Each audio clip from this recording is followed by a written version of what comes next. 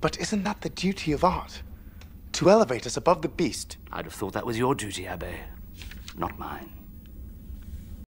Offended. You cringe when you hear that word too, right? And why do you do it? Because it's one of many overused words that have lost its meaning today. In ancient times it meant to be angry, to find something genuinely upsetting, while in this modern society it's just become a synonym for whiny. But still, creativity has the potential to create shock and disgust, and that potential is to be treasured. Offensive art has always been present in the world of men. For example, Michelangelo's The Last Judgment from 1541. It was criticized for being in just an orgy of obscene nudeness. Marcel Duchamp's Fountain from 1917 was criticized for not being art at all, but just an indecent object. Some pieces of art that were traumatizing and unacceptable 500 years ago, or 100 years ago, or even 10 years ago, are today mostly interesting curiosities. And the reason for that is that art is changing, people are changing, society is changing.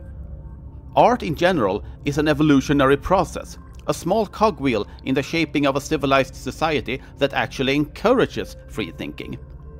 So if a piece of art happens to cause shock and disgust, well, that's actually indication that the world is moving in a pretty decent direction after all. How about you, my wicked brother or sister? Are you afraid that your words or your art will make people angry with you? That they will judge you? It's normal to feel that way. You wouldn't want to alienate yourself from your fellow primates, and I understand that. I've been there myself. But when it comes down to it, the one thing that is important is your integrity.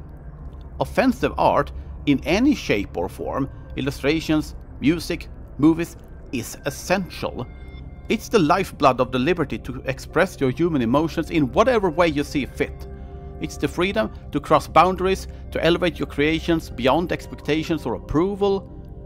So if someone happens to be offended by your words, or your art, or your creativity in general, Embrace it with pride. You have just made an emotional impression. You have awakened something in another person. And that, my wicked brothers and sisters, is precious indeed.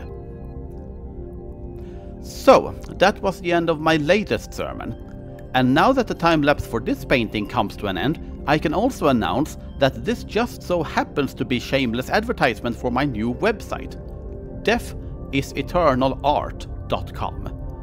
During the making of this video, the website is still a work in progress, but all the necessary functions, primarily my webshop, are complete, but I will continuously expand it and make it even better in due time. Feel free to check it out. And finally, I just want to say, being offensive is your integrity at work.